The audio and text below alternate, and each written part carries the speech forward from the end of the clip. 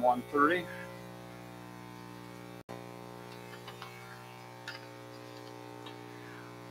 Wait for the Lord, like those who hope in God's mercy. God's steadfast love endures forever. Watch for God like those who eagerly await the morning. We watch for God, whose power redeems us. Hear God's hopeful word, hopeful word, like those who long for pardon. Sing praise to God and rejoice in God's love.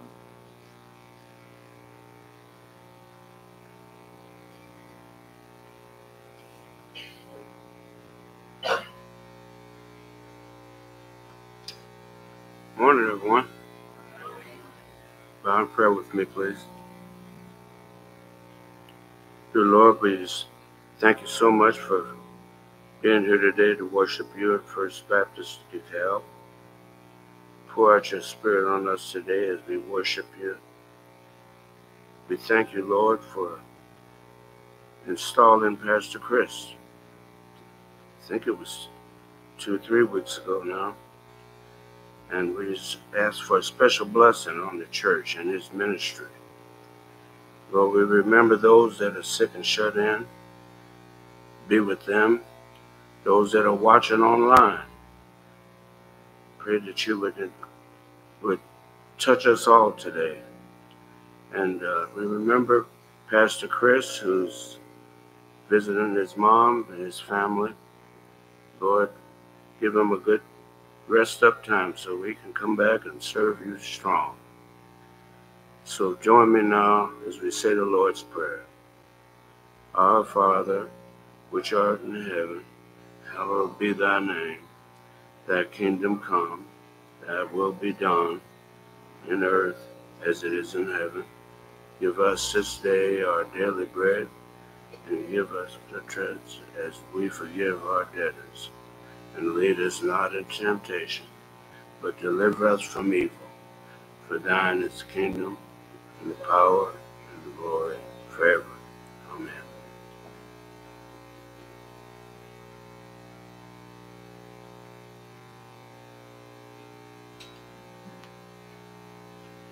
Please sing with me on our offertory prayer, our offertory hymn, Lord be glorified.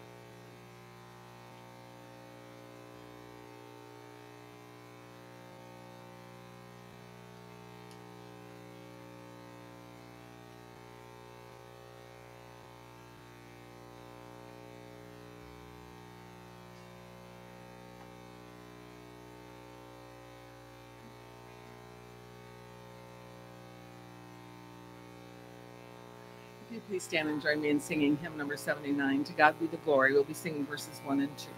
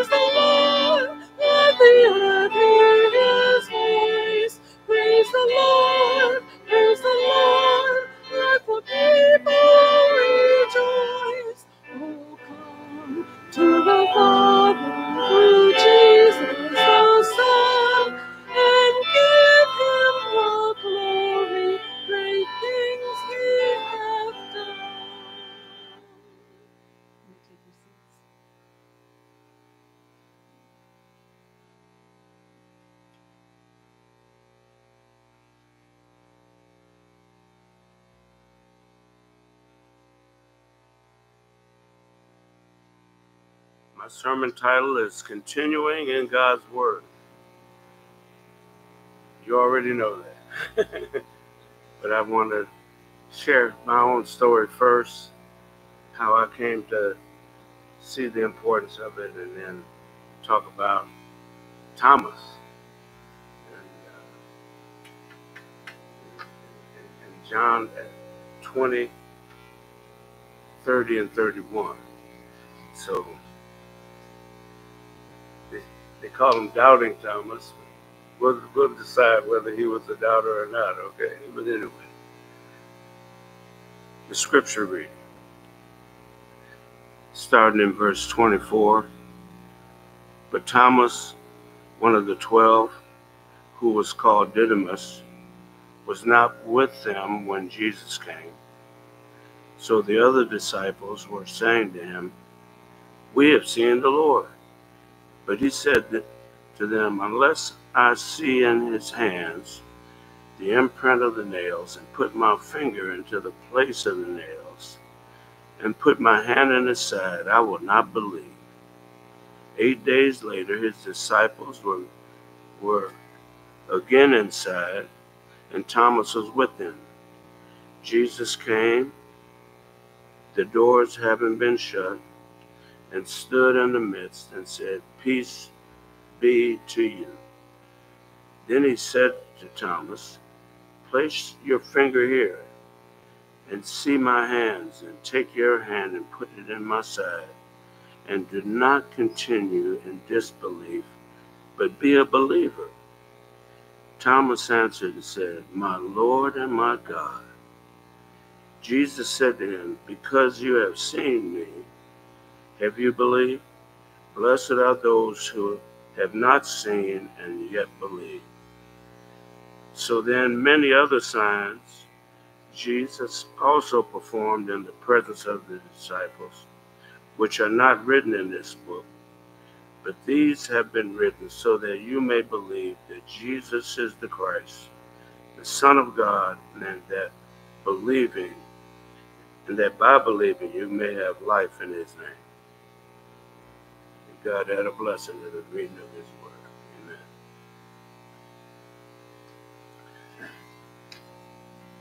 I met um, Jesus, uh, received Christ. You know, I went to church like everybody, but I think I made a, a com- serious commitment. Not, not like everybody, but I made a serious commitment when I went in the Air Force. It's something about, you know, facing the reality that anybody else here in the military, you know what I'm talking about? But, you know, I had to go to possibly get my friends that got killed in Vietnam. You remember this, you know? So, anyway, uh, I was in Biloxi, Mississippi. This would have been April of 1969, there for training in tech school. And uh, I went to a Billy Graham type crusade. and navigators used to help with the follow up uh, for Billy Graham organization. And so after I made that commitment that one night, uh, three days later, two guys, uh, listed guys, was with navigators. And I didn't know who navigators were, you know. I mean, turns out they were an organization that started out working specifically with soldiers in the military. Anybody know about navigators? Heard of them? Yeah, they got those hands. Yeah, okay. So um, they work primarily with military, but then they spread out, you know. And they put focus on, uh, you know, helping people be grow in their faith, you know. So one of the important things that they talked to us about was the, the importance of the Word of God in your life, you know. And they, they had an illustration. They call it the hand illustration. And I've seen this before, the hand illustration. And each one of the fingers represents a way you can get the word in your life. Hear the word. Pinky, hear the word. Ring finger, read the word. Study the word. Memorize the word. Meditate.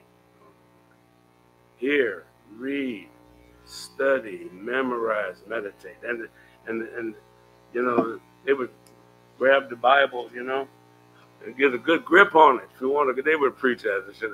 You want a good grip on the Bible, you got to do all five of these, not just here, you know. But uh, anyway, uh, so I've you know, scriptures that stood out to me like John 8, 31. If you continue in my word, you are my disciples. And you'll know the truth, and the truth shall make you free. If you abide in me and my word abide in you, ask whatever you wish, and it will be done for you. Man shall not live by bread alone. You've heard all these but by every word that proceeds out of the mouth of God. So, you know, I worked in campus ministry. You know, that's how I started out after I got out of the service. Anyway, uh, so I I would tell them, don't snorkel in the word scuba dive, you know. you know, snorkeling, I don't swim at all. So for me to use swimming analogies, that's, you know, anyway. But uh, the, the snorkeler just goes along the surface and has a short straw, you know, so they can breathe the air, get fresh air. But the scuba diver, man, Old Testament in one tank, New Testament in the other, you know. I tell them, inhale the word, exhale sin, right? you know, anyway, we got to have a little fun with it. But, uh, yeah. So I got interested in this, the, the study of the word. That's the that, that middle finger, studying the word, really that got my attention. Some of my friends really got into scripture memory. They, I mean, some of them would memorize whole books of the Bible. I mean, like Philemon, that'd be good with, you know, one, all those chapters. But anyway, uh, so the summer of 1974, I got married in 74. And that summer after I got married, I went to summer school at Wheaton College and I took a class from the Bible study or, or uh, uh, the New Testament professor named Merrill C. Tenney. And Merrill C. Tenney was Billy Graham's teacher at Wheaton, you know? And so this was a really special privilege for me. And, and, and in fact, I took the class and I got credit for it on my transcript because I was an English major. And so studying the Bible, that's a book too, right? So anyway, I got the got credit for it, put it on my transcript. Uh, and so this class was called Bible Study Methods, Merrill C. Tenney. And it, boy, it was, he would, he would give us, we had a, a test every day on the lesson. And we had to take out an index card, four by six size card, And he says, time for your four by six. You got to take out your index card and he'll give you the question. You got to write it out, turn it in to him. But anyway, uh, Boy, I tell you, he he told stories about his own study of the Bible. Listen to this. He would take butcher paper. You remember the old butcher wrap it up paper, butcher paper. After after everyone would go to bed at night, in in the he lived in an apartment building with a long hallway. Can you imagine this? You know, in the city, and he had the butcher block paper, and he would unroll it all the way up, and he did what he what they called a grammatical layout in Greek. It's like diagramming sentences. He wrote it out. He'd get on his his knees and he would write. And he'd come back and write, do it some more. Anyway, what? I thought, man, that's some serious, you know. So I asked him during one break, you know, what, what, what, where did he get his training? And, he said the one that influenced him was W.W. White. And so I found a book by W.W. White. This is 1895. An old book fits in your jacket. I have a jacket on today. Fits right in that pocket. And this is an inductive Bible study. Was popularized by this this this guy here, W. W. White.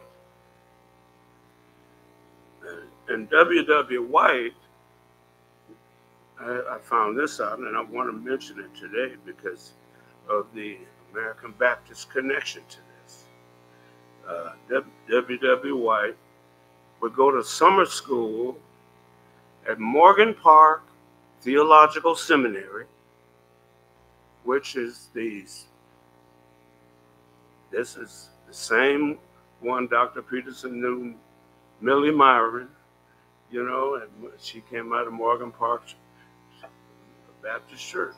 But anyway, uh, William Rainey Harper was the the teacher. This William Rainey Harper was a special guy. He uh, got his PhD from Yale at the age of 18 years old. There's some serious stuff here. I mean, that's impressive, isn't it? It was a black girl they just announced got hers from Arizona State at 17. This is two weeks ago. So I'm, you know, homeschooling may be better, huh? anyway, uh, so William Rainey Harper was American Baptist. It was called Northern Baptist Convention back then, over against Southern Baptist Convention. And he put an emphasis on the relationship of one text to another, one verse to another, one word to another, and, and taught them how to see uh, comparison, contrast, climax, see these relationships in the text.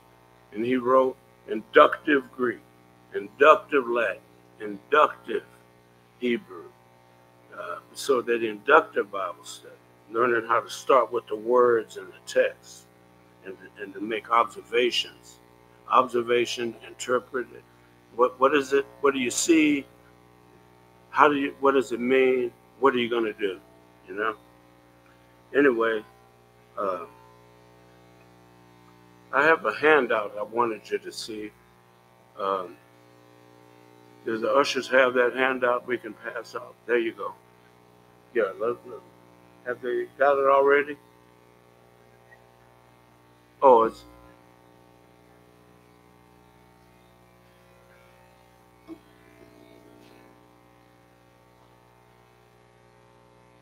Everybody got one?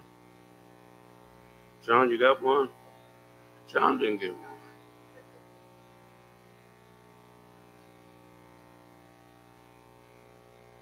Yeah, I wanted you to see that because that came out of this book. Um,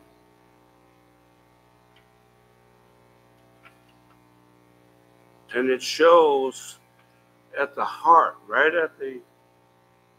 Better stay by the microphone.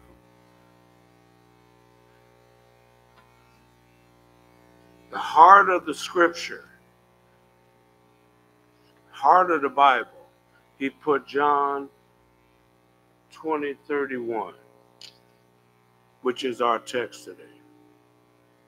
And I thought that was really good because you got the the Old Testament, New Testament, all of those books of the Bible are in relation.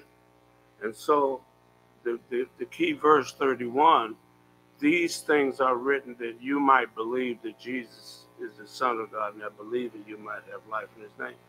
He says, No, all of these things are written. And I just thought, man, that's how to think about the Bible. It's not just this, the book of John is written for you to believe. All of the Bible is written for that. So that's a good picture uh, to show you. So Thomas was called Didymus. The word Didymus means twin. So, uh, you know, maybe he had a twin brother or sister. Uh, but the twin, two-ness can be a problem. Can be a problem because you can have, you can waver, you can go back and forth. She loves me, she loves me not. You know, you can go back and forth. James 1 6 to 8. But he must ask in faith without any doubting. For the one who doubts is like the surf of the sea, driven and tossed by the wind. For the for that person ought not to expect that he will receive anything from the Lord being a double minded man, unstable in all his ways. Twin. Anybody here born May 21 to June 21? Anybody got any May? Got one. Okay. I asked that because in the zodiac, that is Gemini. Gemini is the twin. My wife was Shirley Pass in October 21. My wife was born June the 4th. But she wasn't double minded about Jesus, I tell you that. single minded, thank God for that woman. She was single minded and focused on the Lord. Praise the Lord. We have seen the Lord, they said to him. Unless I see in his hands the imprint of the nails and put my finger into the place of the nails and put my hand into his side, I will not believe. He put a double negative there. Now, I want you to see a, a, a, a painting. Uh, this is uh, on the screen now. Look at this one. And it shows Thomas. This is done in 1602. Car, let me try to say it right. Caravaggio, Italian name. And it's called The Incredulity of St. Thomas. To put that finger, now, uh, uh, incredulity, I looked it up. incredulity, the state of being unwilling or unable to believe something. It's a perfect synonym for doubt. Okay.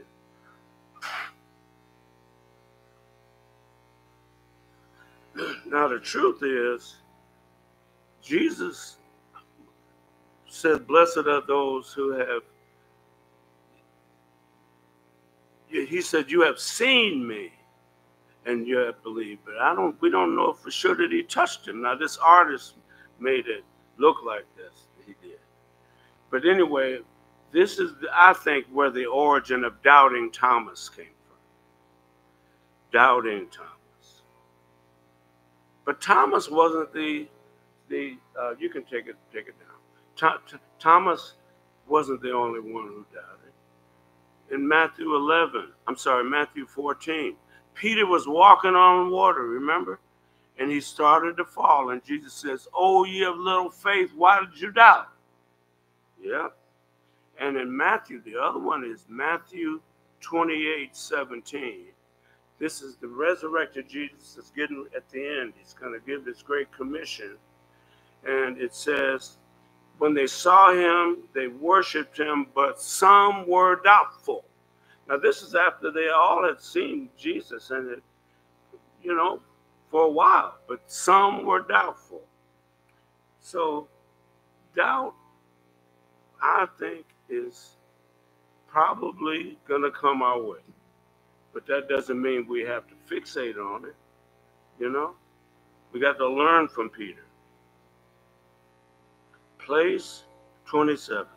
Place your finger here and see my hands and take your hand and put it in my side. Right?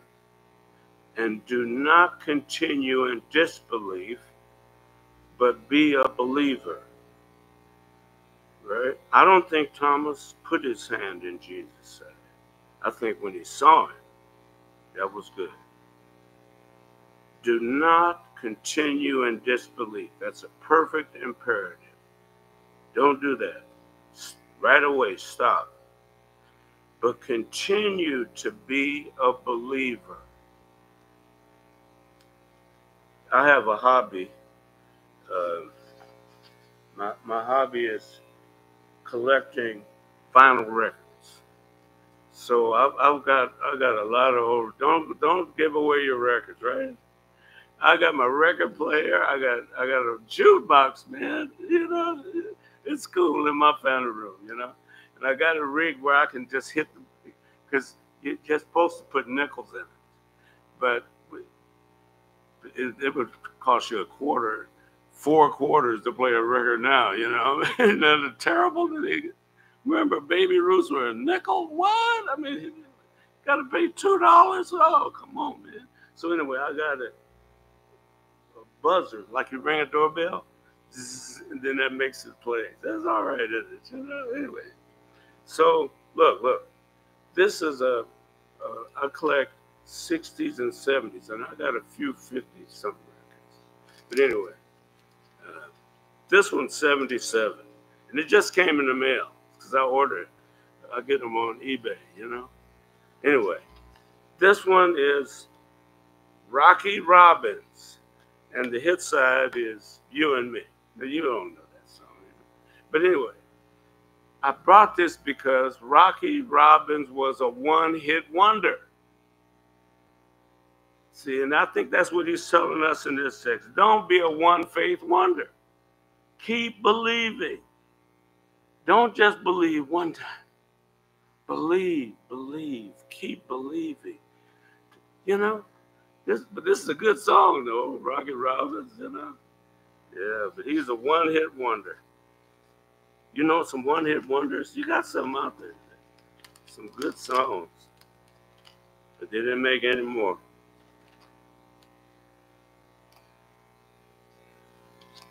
So uh, incredulous Thomas conceived of Jesus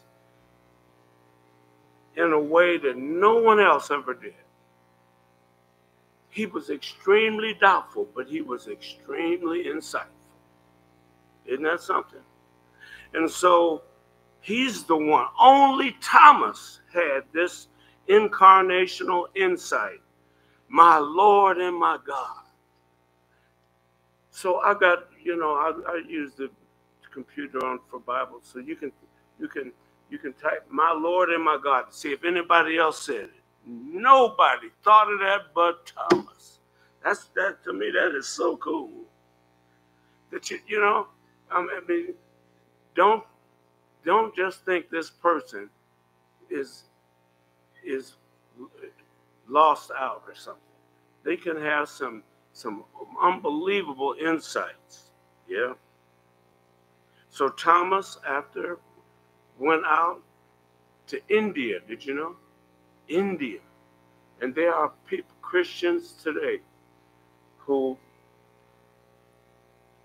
are, go back to those churches in India that got started from Thomas's evangelism years ago.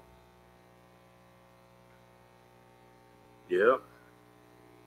Blessed are those who have not seen and yet believe. That's a message for us. You know, we have not seen Jesus, but we can believe, even though we have not seen, right? He hasn't appeared to us. So in 20, 30, and 31, many signs, many miracles were done, were performed, but they're not written in the in the in, uh, in, in, in the Gospel of John. See, the synoptic Gospels, Matthew, Mark, and Luke, were written first, and they tell similar stories. That's what's called synoptics. And John wrote his in 90 AD, last, and he wrote special, he picked out those things that are not written in there in the other three. There were a few that uh, stories that he told, feeding the 5,000, you see what I'm saying? Crucifixion. But the uh, the woman at the well, John, uh, telling about Thomas, these are things that are unique that he pulled out later. But he couldn't include all of them, you know. And here's that key verse again. But these have been written so that you may believe that Jesus is the Christ, the Son of God, and that by believing you may have life. Believe that Jesus is the Messiah. Some are still waiting for a Messiah to come, but God has sent him already. And believe is plural in number. It's not singular, plural in number. Two or more. So believe and believing has the same uh, root, the same idea. Do it. It's, it's two or more. So when when you when a person is a believer, it's it's an ongoing, continuing. And so the word faith comes by hearing, hearing by the word of God. As as as our faith grows as we stay and continue in the word, reading, hear, read, study, memorize, meditate. And finally, Zoe. Zoe is the word for life. It's life as God lives it. It's abundant life, eternal life. Well, I'm glad I got to share today. Thank you for the privilege of uh, being invited again to come and speak to you. Amen.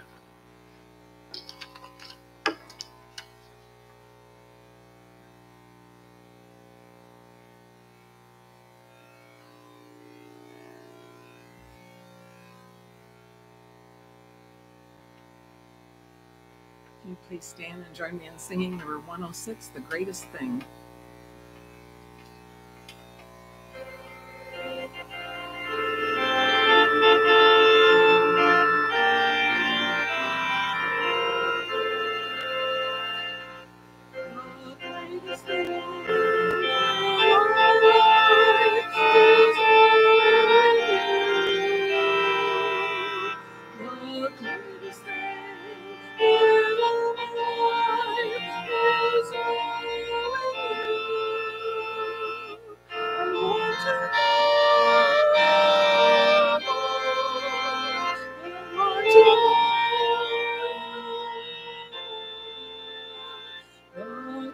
Greatest thing